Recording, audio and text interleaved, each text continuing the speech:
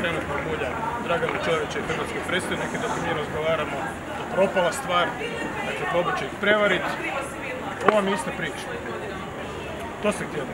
Šta će Plenković napraviti? Će doći do izmjena kaznenog zakona ili Neće premijer je često puta rekao i onako već sad.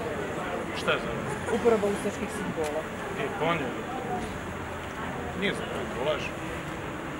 Nažalost, Kraus neće dobiti ništa. Neće dobiti ništa. Je potrebno to ponavljati ako pregovori. To je isto kao pregovori sa Bakirom Izetbegovićem. Nema ništa.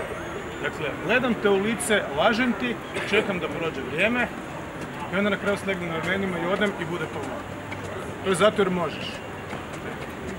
Znači,